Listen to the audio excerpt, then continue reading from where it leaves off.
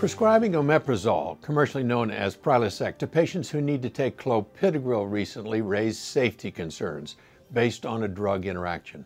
Both drugs use the same P450 intrahepatic pathway, and there were fears that the combination might cause less antiplatelet effect for patients who, for example, needed antiplatelet therapy for coronary stents. As we now know, the combination did cause pharmacokinetic effects, but happily clinical outcomes even in randomized trials, were not affected.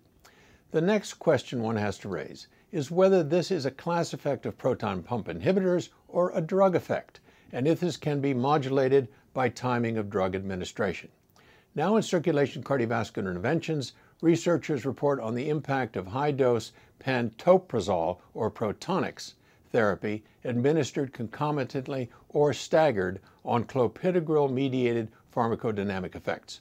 Protonix is another proton pump inhibitor, but has low potential to interfere with clopidogrel metabolism. The researchers used a prospective randomized crossover study conducted in 20 healthy volunteers and used light transmittance aggregometry as the endpoint.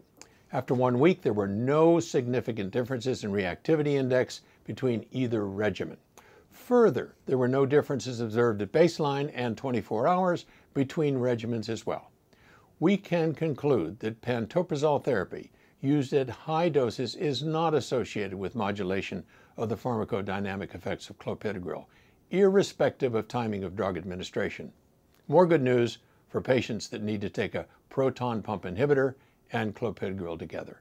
I'm Peter Block, and this is a CardioSource Heart Minute.